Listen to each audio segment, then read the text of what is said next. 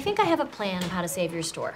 If we get the Pawnee Historical Society to declare your store as a historical landmark, then you might get enough of a tax break to keep your business afloat. That sounds like the government meddling in private enterprise. Well, Ron, we all know how much you love the free market, but the Pawnee Videodome is the only place in town where people gather to do something intellectual. That and the slam poetry nights at Beanie's Coffee, but I do not count those because those poems do not rhyme. Anything can be a slam poem if you say it like this. It's pointless. This man is a failure. He is not up to snuff. His business is failing and you're bailing it out. This is a bailout and I don't like it. And there are some pretty intellectual conversations down at Barrett's Hardware. You may get a little heat for this, okay? So use your money wisely. Get popular films that people want to see. Like, uh, get the Tarkovsky movies with the subtitles. No, like Pixar. Reese Witherspoon. I know this is gonna hurt, but maybe some Michael Bay. What? No, no. No.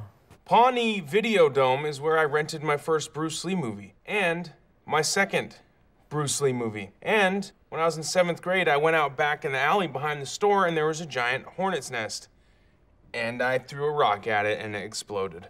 And hornets came out. Andy. The point is, obviously, you do not throw rocks at a hornet's nest.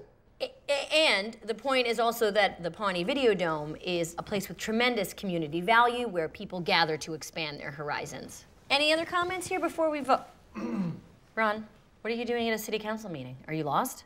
Are you hurt? No, I am here to express an opinion. This action by Councilwoman Knope is nothing more than a thinly veiled government bailout, and I, for one, refuse to let her turn this town into a socialist hellscape. Allow me to elaborate. The government should not prop up a failed business. That would be like giving food to a mortally wounded animal instead of slitting its throat and properly utilizing its meat and pelt. Please stop talking about wounded meat. Pawnee needs a place where the community can gather to discuss and appreciate art. A place where you can rent such films as Cinema Paradiso or Rashomon. You rented Rashomon. What was your favorite part of that?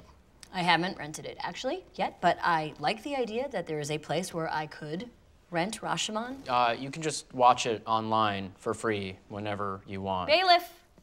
Thank you, Mr. Swanson, for your absurd opinion, which is shared by no one. Now, are there any more public comments before we vote? Mm. Gene Strackwell, owner of Strackwell Hardware. Is there a form I need to fill out for the bailout? We're, we're not bailing anyone out. Pawnee Videodome is receiving historical landmark status. We've been around way longer than that stupid art house movie bullcrap, and people need places to buy tools. Oh, you can just buy tools online. Bailiff, why is he back in here? How did you get back in Uh, here? I'll just I'll see myself out. Don't worry about it. I heard you were giving out free money. I need $3,000 minimum. Mr. Fandringham, the city of Pawnee is not going to give you a personal loan. What would you do if one of your citizens was about to come into some serious physical harm, unless he got $3,000? I'd call the police. You cannot call the police.